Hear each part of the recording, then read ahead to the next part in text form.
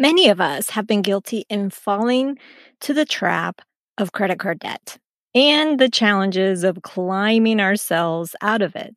Today's guest is no different, but her mom was very clever in her approach. Don't miss it.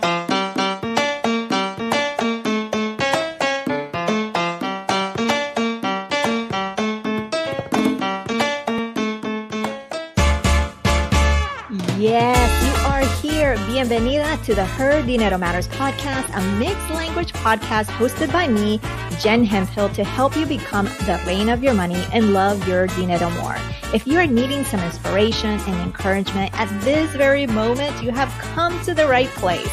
Gracias por compartir este tiempo conmigo. Now let's jump in to today's dose of money confidence.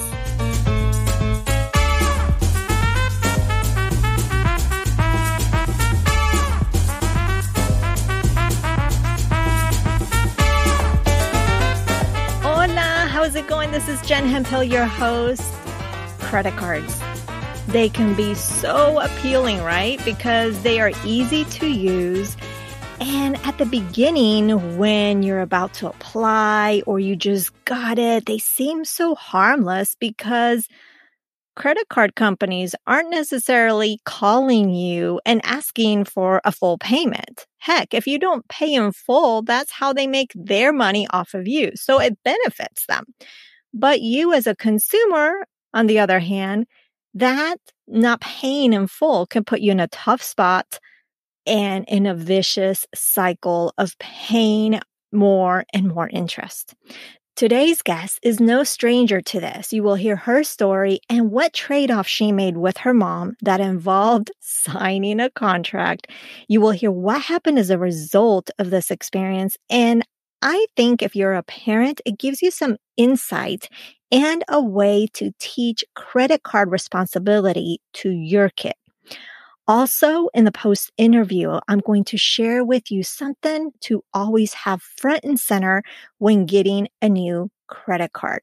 Well, let me share with you about today's guest, Maribel Quezada Smith. She is a video and podcast producer with over 16 years of expertise developing meaningful content. Her TV credits include producing shows for Discovery Family of Networks, Netflix, Oxygen, and A&E, among others. She's currently a producer and co-host of the popular Pulso podcast, and she helps entrepreneurs, startups, and growing brands build deeper connections with their ideal customers through meaningful video and audio content.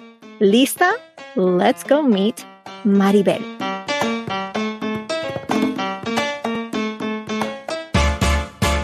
Welcome. Bienvenida, Maribel. I'm so thrilled to have you with us.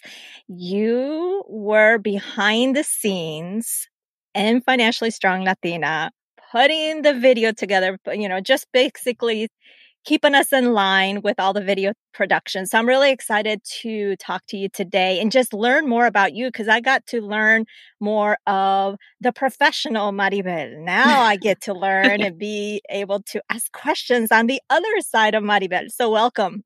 Thank you so much, Jen. I'm usually on the other side of the table, so this is a little nerve wracking for me. Oh, you'll be good. You'll be good. I'll try to take it easy on you. Thank you. I appreciate that. So, Let's start with your money story. So take us back in time, Maribel, to your upbringing, your experiences, anything that you saw, you heard that had to do with money that really made an impact and maybe has made an impact until today. So talk to us about that. There have been many, many stories, obviously, in my life. I've experienced a lot of different money stories and money journeys. But some of the ones that have really stuck with me, for example, is when I was growing up, I was around, I think, 15 years old. And my mom finally came to me one day and was like, Look, everybody in this family has responsibilities, including your brother and your sister who are older than I am. Your responsibility, one of your responsibilities is going to be balancing the checkbook for the family. So she taught me how to pay the bills. I was responsible for writing all the checks because back then, not to date myself, before bill pay, before electronic bill pay, I had to write checks manually. So she taught me how to write checks. She taught me how to write the checks out to the bills, to the utility companies. And then I would have to keep a log in the checkbook. Do you remember how inside the checkbook you have an actual log, like a balance yep. sheet, a yep. paper balance sheet? Okay, I had to manage that. So I would write debit for, you know, 50 some dollars for the water bill or whatever it was. And then mm. credit for, you know, a deposit of a paycheck from my dad or my mom, whatever. I was in charge of that. I mean, not solely to be fair. Like she had most of the control, but I was in charge of making sure that I paid the bills on time and that I would register them on the checkbook. So that's one of the big ones. You know what? I have to say, in all of these years of interviews and just hearing the experiences of my guests, you were the first one that, as a kid, were helping your parents pay the bills. This is so awesome. All right, go ahead. well, thankfully, they didn't make me actually help pay the bills with my money that I earned. that was actually really nice of them. But yeah, no, it was a good learning experience because when I got to college, I was one of the only people who knew how to balance a checkbook. And so in college, fast forward a few years, I decided to get my first credit card. And my mom, of course, was very much against that because she knew that I was one of those people who spent every dime she earned. Since I was in high school and I had like my little side jobs, I would always spend everything I had. And it's, it was normally on shoes, clothes, and going out. So she was like, don't get a credit card. You don't know how to manage that. I'm very worried about that. I got it anyway because I could.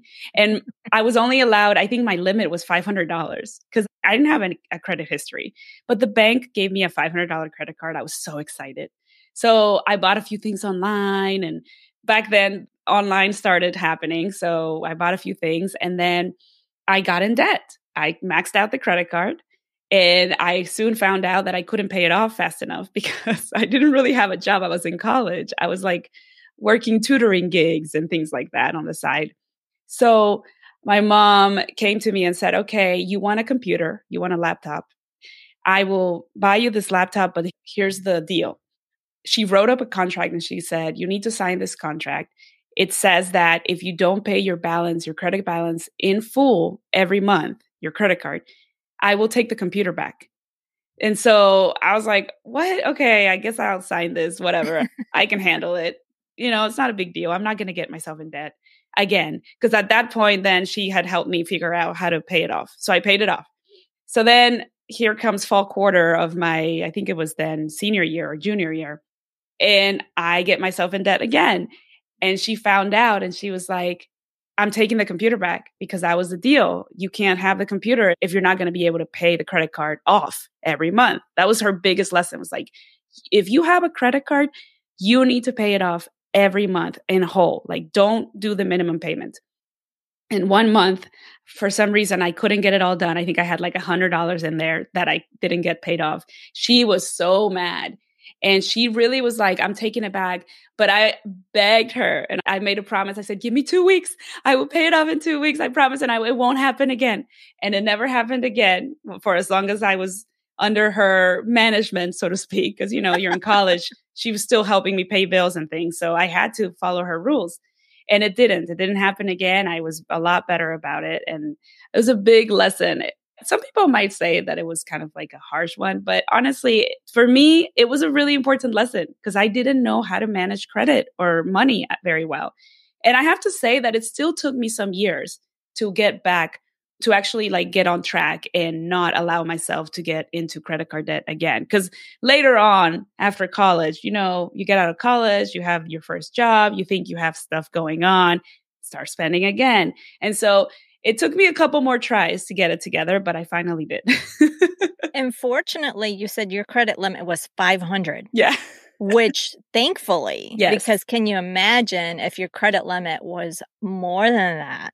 Jen, I have a friend who graduated college. She was a year older than I was, and or she is still a year older than I am. And the day that she graduated, she told me, I have $10,000 worth of credit card debt. Credit card debt, not student loans credit card debt. And she was 22 years old. That to me was a very, very big wake up call because I realized that I was fortunate to have a minimum amount of credit allowance to my name, but also that I needed to get it together because I was not about to be in $10,000 worth of credit card debt. Right. I know with my dad, he taught me, and I don't know in what way he told me, but for me, if I were to have a credit card, I was supposed to pay it in full. Like that was like ingrained in me Yeah. and there was no other option. I'm like, okay, if I'm going to have a credit card, I will pay it off in full. Unfortunately, I've been doing that, but I don't even know what. I wish I could hear over the conversation that he had because it was just whatever he said, it was just ingrained. Credit card, you pay in full. You know, just charge what you are able to pay at the end of the month. And that's what I've been doing because they've had credit card debt. And I think it was just his experience. Maybe he shared something. I don't know. But I just will always remember when he sat down with me to have the money talk. Yeah. Part of the, the was the credit card. Well, you know what's interesting to me is that the money talk was actually more emphasized between me and my mom than the sex talk. I got like nothing when it came to the sex talk. It, she literally sat me down in the kitchen table when I was in sixth grade and she said, when a man and a woman are in love and they're married, they can sleep together and have a baby. Period. And then my money talk was like over and over again and into detail. She had me balancing checkbooks and all kinds of stuff. But no, no, when it came to sex, it was like, "Uh, we're not talking about that. Guess who had the sex talk with me? Who? My dad oh, I don't know. I don't know about that. with my brother. oh, oh. Yeah, that was fun. Yeah, that was fun. now you know. Thanks, Dad.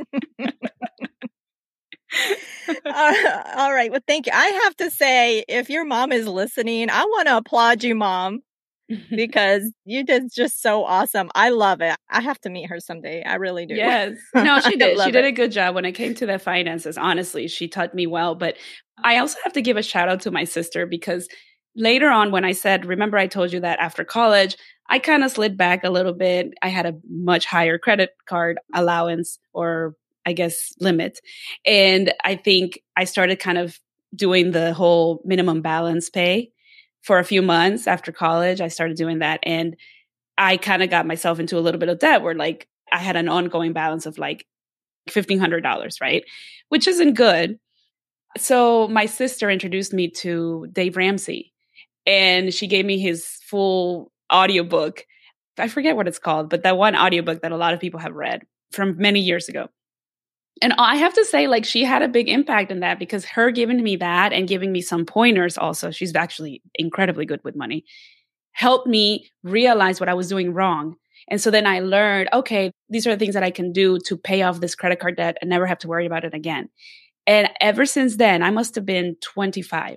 Ever since then, I have not gotten myself, knock on wood, into credit card debt ever. Like I've always been able to pay off my credit card bills completely every month. And that's honestly a very big source of pride for me because it's something that really allows me to feel very relaxed and feel a lot better about where I am in life and also just not have to stress so much.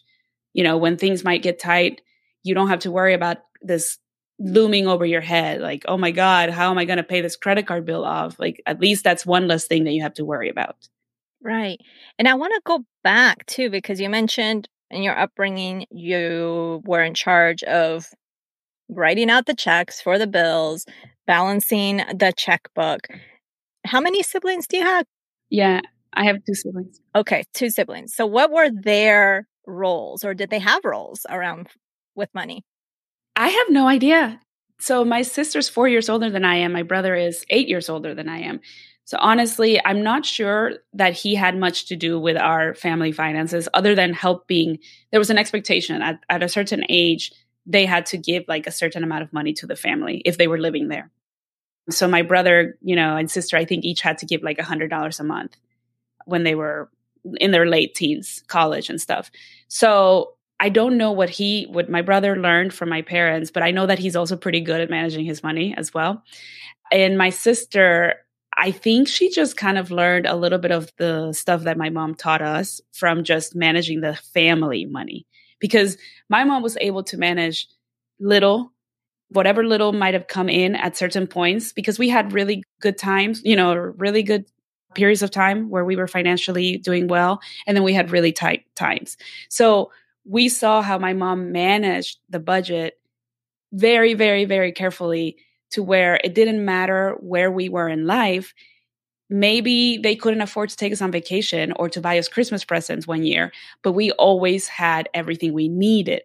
Right. And that was very, very crucial to my upbringing because I can honestly tell you that I do have a sense of safety when it comes to that. Because my childhood felt safe in the sense of I always had food on the table, I had clothes to wear, and I had my books to go to school and a way to get to school. Because I had the basics, I do have the privilege of living more safely. Like I feel more relaxed and less anxious around money than I think a lot of people. Because when you have that scarcity when you're young, I can only imagine what that creates as an adult. There are other things that I have scarcity mentality around, but it's not around money, thankfully. And I think it has a lot to do with that, how well she managed the budget when we were younger. That is an interesting reflection because I had that scarcity and it was money. That was huge, huge, huge, huge. So that is interesting that it wasn't scarcity is around other areas, but not money.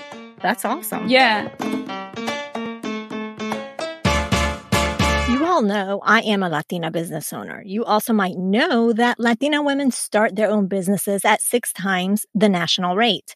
So it's wild to me that there hasn't been a reliable payroll app available in Spanish until now.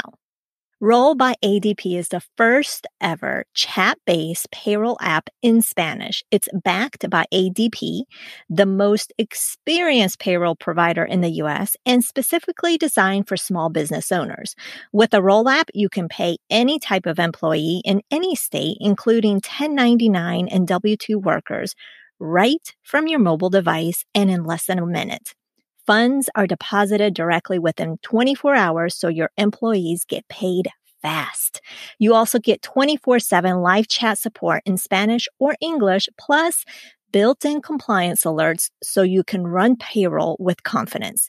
Stop stressing about payroll and get Roll by ADP for your small business. Try it for free for three months by visiting rollbyadp.com slash her dinero.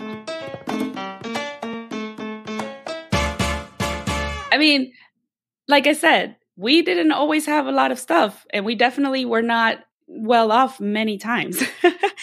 but I don't know, whatever she did, she just made it work. Like she figured out a way, and she was very, very resourceful. And I think that has a lot to do with it. Like she taught me how to be resourceful, how to work with what I have. That helps you even when you make a little bit of money. You might think it's not enough, but like the way that you can get creative with it and what you can do to make things stretch, it's pretty impressive what some people do out there. I'm not even that good at it, but I've seen some friends do a lot with little. And it's cool to have that learning in your life. Absolutely. Now, talk to us about your experience. You immigrated from Mexico to the US at about 12 years old. So, what do you remember observing and seeing your parents just navigate the financial system here in the US? Because they, from Mexico, where it's different, to the United States, that there's different options and that they have to learn. So, what do you remember? The biggest thing that I remember is that they didn't have a credit history. So, in Mexico, when we were growing up, which was in the 90s, we came here in 96 there was no real credit. Like you either bought your house with cash or you borrowed from your family members somehow. Some people did borrow with banks, but that was very rare. Most people would buy their houses in cash or buy like property in cash. And so coming here, they learned, oh, you need credit for everything. Even if you don't believe in having to get in debt, the United States is built in a way, the system here is built in a way that you kind of need that credit score regardless because you can't even rent a car without some sort of credit card or something like that. And so they learned that quickly and it took them a while to build that up. I think somehow they have a friend who maybe co-signed, I believe, for my dad's first credit card. And that was a way that they started building credit. But I I do remember specifically that, you know, it was a very tricky situation because the first couple of years they didn't really have much credit history and we wanted to buy a house. And when it came time to buy the house, man, I forget, like, it, I think it took an extra six months or so to get all the paperwork and all the things that they were asking of my parents. to be able to vouch for them so that they didn't need to have another cosigner. And that was a really big learning experience. But I think also because they had to jump through so many hoops and had to learn about building credit scores and so forth, my parents were really good at having good credit scores because they were very careful as to how they built it. They had the mentality from Mexico of like, you don't get in debt because it's just bad news. All the interest rates were super, super high there. So it was just like a no no. Like you just can't afford it. And then coming here, credit was so easily available at times, but they already knew that there was a big downfall. So I think that helped them a lot in keeping in line, I guess, with their values of not getting into major debt or at least retail debt, credit card debt, you know, which is so common. Right. Now, there was one point in your life that you loved to spend because we know that when you had the credit card in college, you got yourself in a little bit of credit card debt. But there was also a time, and I don't know if it was during this course of college, that you liked to spend on fashion. But there was a turning point. Tell us about this. Yes, I love fashion. Anyone who knows me knows that I am stylish and I love it. and so that was one of my biggest downfalls. I used to spend a lot of money just buying shoes, clothes. My closet was packed to the max. I mean, I had to have things in boxes, you know, or in totes sometimes because I didn't have enough space. It was getting ridiculous. And so I think I started learning more about just the effects of fashion in the world and not only in our economy, but also in our environment. And I watched a couple documentaries. I read a few books on fashion and I started to understand the detrimental effect that fast fashion has in our environment. For example, like just fast fashion, when I talk about fast fashion, I'm referring to clothing lines or uh, stores that sell a lot of clothes for cheap. When we started seeing that, I feel like that wasn't really in existence back in the day, like in the 80s and 90s. I don't remember there being a lot of options for buying clothes on the cheap. And then all of a sudden, come the 2000s, and Forever 21 pops up, and all these other stores that are fast fashion start coming online. And people are like, whoa, I can buy a shirt for $5 or $10. That's crazy. That's amazing. And so, because of that, I started consuming a lot more. Well, then I realized that there's a big detrimental effect because the more you produce, the more water you use, the more emissions you produce. The factories are throwing out a ton of dirty water into rivers and the oceans. They're spilling out dyes from the colors and pigments, like all of that goes into the water, into our oceans. And so it's detrimental to the environment, but it's also detrimental to the people because uh, you know, you've heard of sweatshops. So you have people making these clothes or these shoes and they're making them in really tight conditions because they're pressured to provide a certain amount of things or, or a certain amount of items in a short period of time. So they're under really bad working conditions. So the effect is just bad all around on people and on the environment. If you're a good person with a conscience, I feel like you have to understand the effect that your choices have on humanity. And I had to come to terms with that. Like, my purchasing decisions have a big effect on other people that I don't even know. And I started thinking about that and it really got to me. So obviously, when you also talk about your wallet, then it has another effect as well. You're like, oh, yeah, I'm also spending a lot of money on this. So I had to do something different. And I decided one year to just go off retail completely. I should say, going off of traditional retail completely. And I challenged myself to do a year of consignment shopping only. I was like, okay, Maribel, if you have the bug or the itch to go shop, because it was almost an addiction sometimes, then the only thing you can do is do consignment shopping or like thrift store, thrift store, consignment stores, anything like that that's been used or previously loved, you're allowed to shop at, but nothing new, no shoes, nothing, nothing. So for a year, I did that and it was an exhilarating experience because I challenged my creativity.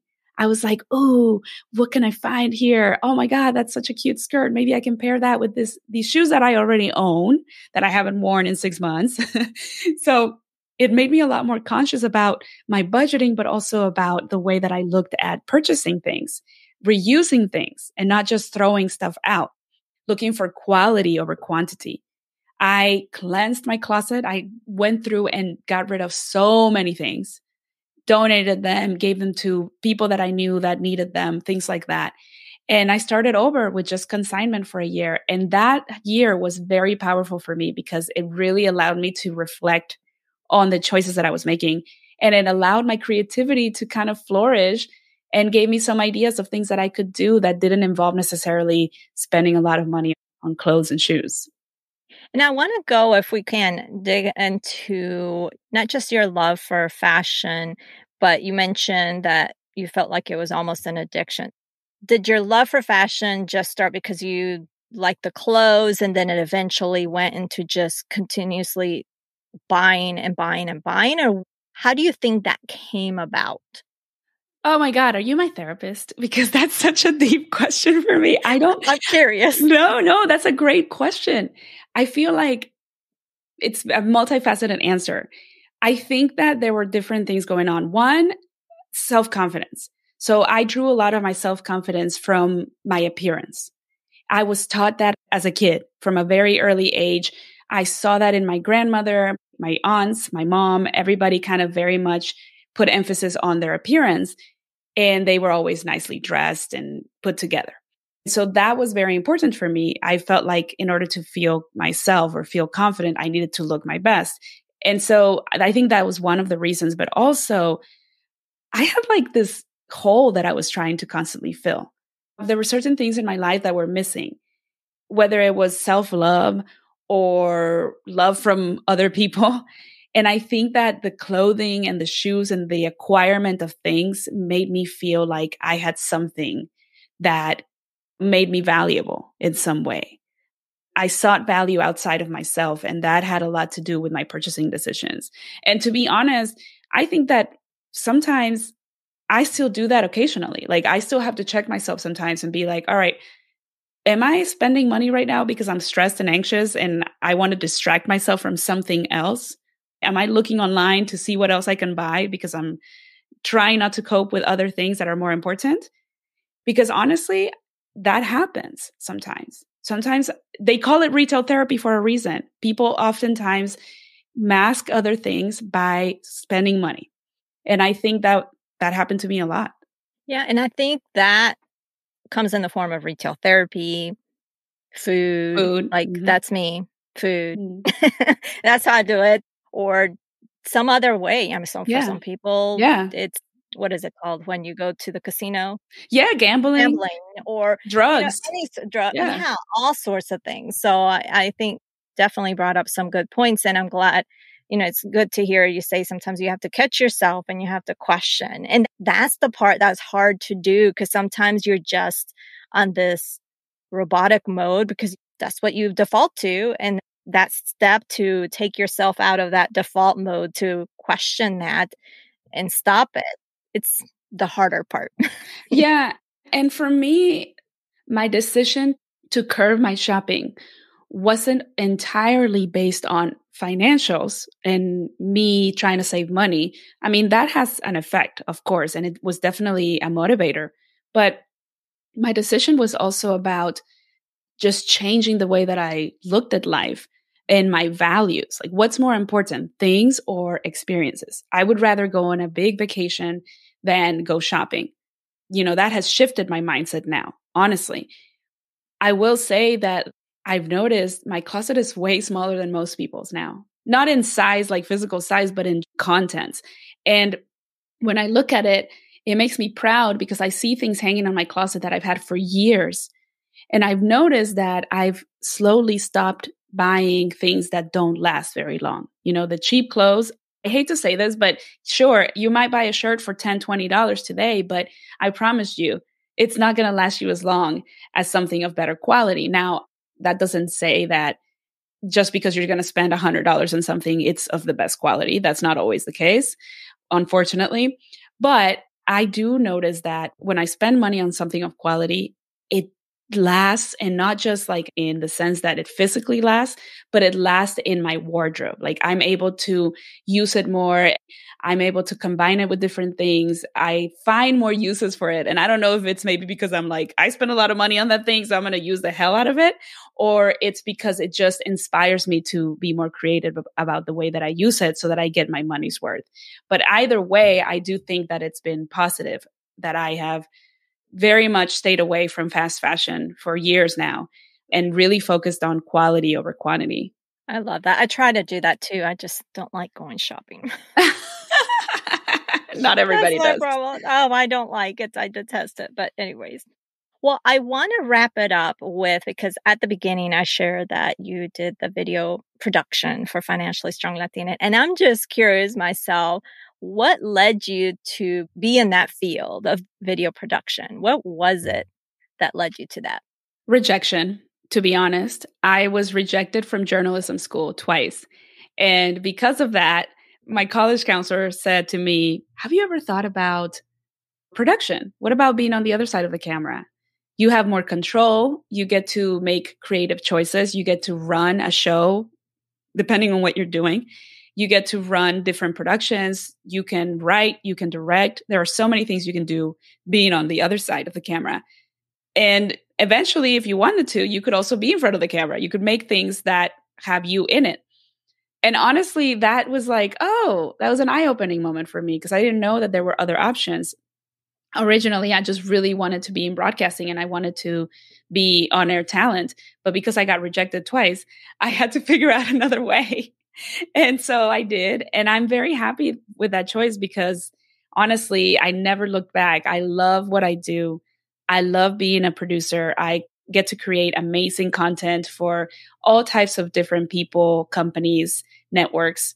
I've produced shows on television. I've produced documentaries, full length. I have worked on short form content, virtual conferences like Financially Strong Latina.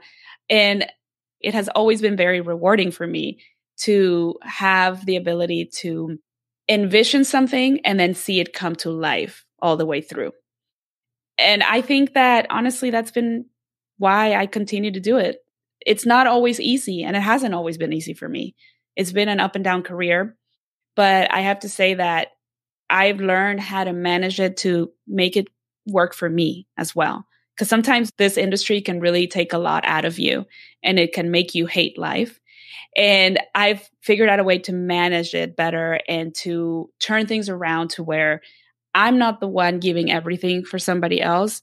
I'm giving something and people are appreciating it, but I'm also owning a lot of the content that I'm creating now. And that has really made a difference in my life. It makes me feel a lot more proud about the things that I create and produce. And yeah, I hope to keep doing it for a long time. Rejection. That is interesting. That's what led you. And kudos to your counselor because I don't even remember my high school counselor or anything. So there's some, you know, counselors that do such a fantastic job and others that I don't know if they do. yeah, I know. because obviously mine wasn't memorable. Sorry. you know, that is awesome that that counselor got you to think and okay, maybe journalism isn't, but there's another way. And I love when people do that. So thank you so much, Maribel, for being here. It was just so much fun getting to know the other side of Maribel. so thank you so much. This was fun. Thank you, Jen. It was a pleasure.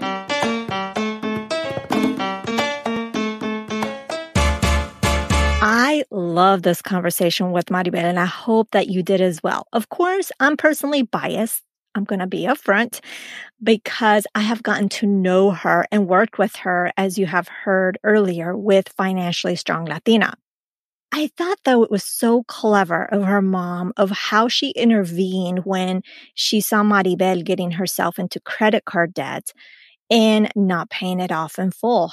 Her mom knew Maribel well enough and knew that this was a risk her daughter was getting herself into because of her history with spending money. I thought that it was also key how she only had a $500 credit limit. Something to consider not just for your kids, but if you yourself are starting to build some credit, they may offer you more. But do you really need all that credit? It may seem like an obvious thing, but depending on your credit history, if you have a really good one, they're going to want to offer you a high credit limit. We tend to want to just accept it and move on with our lives. But my key point is to define what the purpose of the credit card is going to be for you and let that guide how much of a credit limit you're going to accept. It's like when you go shopping for a home, you go for that pre approval for the mortgage and they pre approve you for loans that are way more than you need and sometimes more than you really can afford. So I wanted to give you that food for thought, especially when it comes to taking out credit cards. Make sure that you just don't accept the credit limit they're giving you. Only take the credit limit that is sufficient for you, for your needs, and that you can be responsible for and paying off in full every single month. You can connect with Maribel at Maribel QS, which is forquezadasmith.com. I will have that link in today's show notes. And I really encourage you to connect with her. She's definitely a lot of fun. Now, Maribel mentions fast fashion and being more environmentally friendly. If you want to learn more about that, make sure to check out our past episode, which is episode 231 with Kami Strashnoy, who works in the fashion industry. And we will also link that up in the show notes. If you love this episode and this conversation, I would love it if you could do two things for us. Share this with a friend, family member, a coworker, and review. You can leave a written review on the podcast on Apple Podcasts, or if you're listening on Spotify, you can just rate us by giving us stars, the number of stars you deem we deserve, and you can go up to five stars. I don't know about you, but I personally look at reviews to help me determine whether I buy something or with podcasts, whether I listen to it. These reviews will not only help grow the show, but what mostly matters to you is that it continues to help us bring quality guests and even bigger guests. Those bigger guests will want to know that the show that they are thinking about being a guest on is legit. So, of course, they're going to look at those reviews. Now, we make it easy for you by going to the resource section of today's episode. Next week, we will meet another powerhouse Latina, Gigi Diaz. And all I'm going to say about that conversation is that if you are in need of a mindset check or someone to give you a swift kick, that swift kick you need, don't miss out next week. Bueno, pues that is everything. Thank you so much for taking time out of your busy schedule to tune into the show. Be sure to check out the show notes over at jenhemphill.com forward slash 321. That is jenhemphill.com forward slash 321 one. Remember that being the reina of your money starts at this very moment simply by claiming it. I believe in you, and so should you. Nos hablaremos el próximo jueves.